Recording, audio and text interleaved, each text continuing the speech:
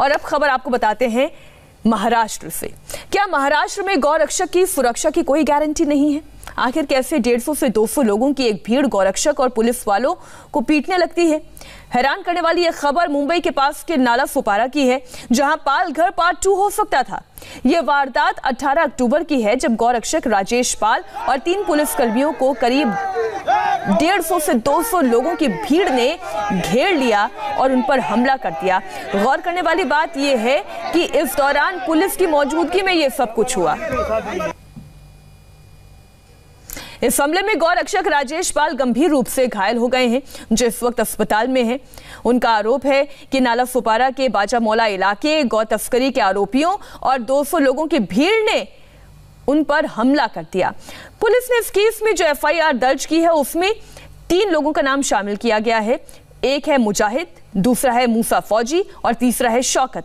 इनके अलावा और कई सारे लोगों के, अज्ञात लोगों के नाम दर्ज हैं। अब तक चौदह लोग इस पूरे मामले में गिरफ़्तार हो चुके हैं।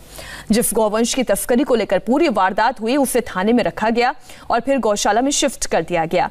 नाला सुपारा थाने में बजरंग दल के कार्यकर्ता ने एक वीडियो बनाया है, जो पूरी कहानी को बयां करता है। आप वो वीडियो देखें।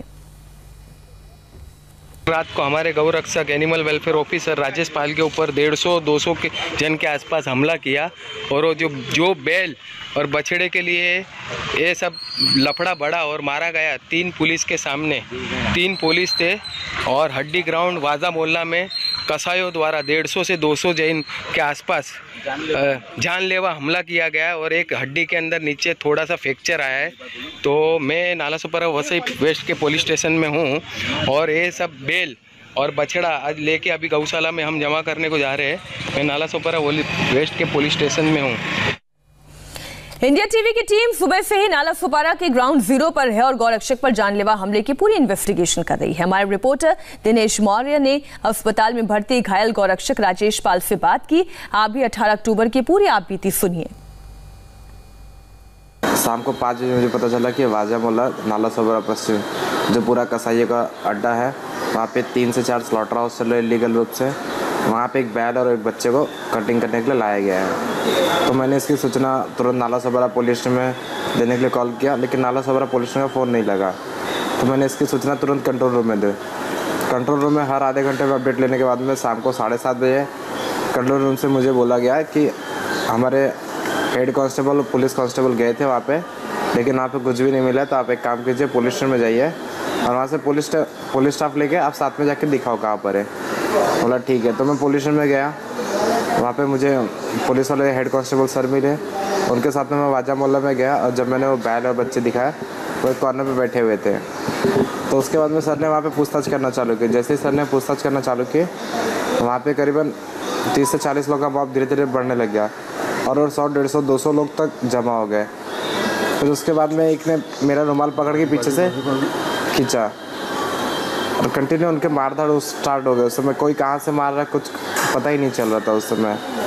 और पुलिस बचाने का प्रयत्न कर रही थी इस बीच में। पुलिस को भी लगा, पुलिस के ड्रेस भी फटे। लेकिन वहाँ से लेके बाहर आने तक मेन नाके तक कोई साधन नहीं था। तो पुलिस ने मुझे वहाँ से बचा के अपने कंधे पे लेके निकलना शुरुआत किया, लेकिन वहाँ पे India TV reporter Dinesh Maurya Nala Sopara में ग्राउंड ज़ीरो पर पहुँचे और इस बात की पड़ताल की कि 18 अक्टूबर को क्या हुआ था और इस वक्त वहाँ क्या हालात हैं, ये रिपोर्ट देखिए।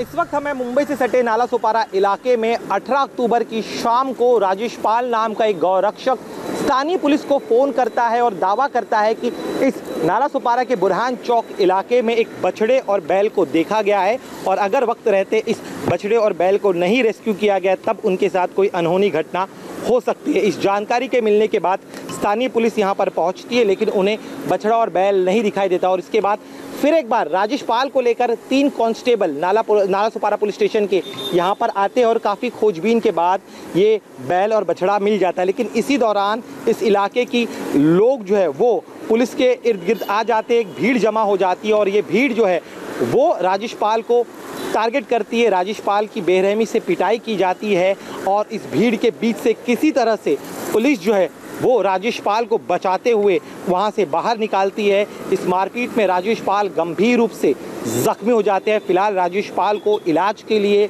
पास के अस्पताल में भर्ती कराया गया है। साथ ही में मारपीट करने वाले चौदह आरोपियों को पुलिस ने गिरफ़्तार कर लिया है।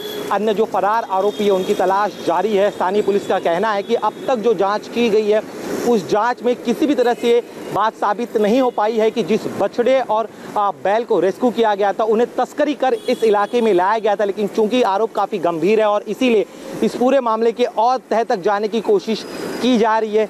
साथ ही में राजेश पाल जो पीड़ित है, उनका आरोप है कि इस इलाके में काफ़ी समय से जो है गौ तस्करी चल रही है और इसको लेकर पिछले पाँच सालों में चालीस से ज़्यादा मामले जो है इस पूरे वसई बेल्ट इलाके में राजेश पाल ने दर्ज कराए हैं। लेकिन इस एक मामले में अब तक तस्करी का कोई भी आरोप जो है वो साबित नहीं हो पाया है। फिर भी पुलिस जो है अन्य आरोपियों की तलाश कर रही है। पुलिस का कहना है कि बहुत जल्द वो फरार आरोपियों को गिरफ़्तार कर लेगी। कैमरामैन संतोष पालवनकर के साथ दिनेश मौर्य, इंडिया टीवी, नाला सुपारा। खबर पुलवामा से भी जहाँ एनकाउंटर में दो आतंकी मारे गए हैं, और डिटेल एक छोटे से ब्रेक के बाद।